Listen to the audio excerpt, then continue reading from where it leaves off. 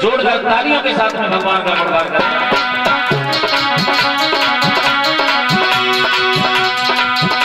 अरे